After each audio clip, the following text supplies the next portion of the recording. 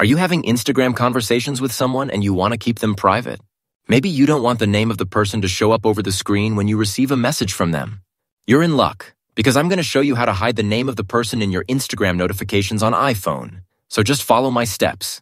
The very first step is to open the settings page on your iPhone because the option which we're looking for isn't located in the Instagram app settings. It's hidden in the notifications section of the settings app. So I'm going to open the notifications panel by tapping here. Then you're going to see a list of apps which you have installed on your device. But we are interested in Instagram. You're going to see a bunch of different options related to our Instagram notifications. But we want to hide the name of the person that's sending us messages.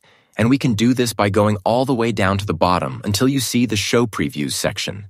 You can select if you want the name to appear in your notifications when you unlock the device.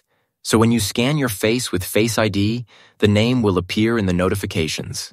But if you don't want the name to appear at all, just tap on Never, and then you'll be able to see the name when you unlock your device and open the conversation in the Instagram app. And that's it. Now your Instagram notifications will stay private, and your name won't pop up every time you get a message or alert. It's a small change, but it makes a big difference when it comes to your privacy.